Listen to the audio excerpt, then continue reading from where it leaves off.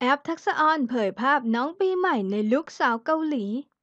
ต้องบอกเลยว่าเป็นอีกหนึ่งสาวน้อยที่ยิ่งโตก็ยิ่งใช้แววความสวยขึ้นเรื่อยๆสำหรับน้องปีใหม่ลูกสาวคนสวยของนางเอกสาวสวยมากความสามารถอย่างแอปทักษะออน และที่สามีสงการเตชะนรงค์ด้วยความที่น้องปีใหม่เป็นเด็กที่น่ารักขี้เล่นทะเลนทำเอาแฟนๆตกหลุมรักกันเป็นแถวจนตอนนี้กลายเป็นขวัญใจของใครหลายๆคนไปแล้ว แถมยังมีแฟนคลับติดตามเป็นจำนวนมากอีกด้วย ซึ่งแต่ละครั้งที่แม่แอปออกมาอวดความน่ารักของลูกสาว ก็มักจะเรียกยอดไลค์จากแฟนคลับ ได้อย่างถล่มทลายเลยทีเดียว นอกจากนี้น้องปีใหม่ก็ยังเป็นเด็กที่มีความสามารถเหลือล้นมากจริง ๆ ทั้งเต้นบัลเล่เล่นไวโอลิน เล่นเปียโน และรำไทยได้ เรียกได้ว่าครบเครื่องเลย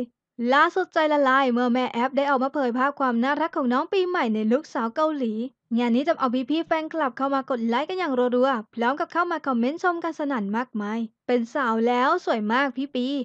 สาวที่ไหนเนี่ยสวยจังเลย หนูปีโตขึ้นเยอะเลยน่ารักมากๆ โตเป็นสาวมารยาทงามเหมือนกับคุณแม่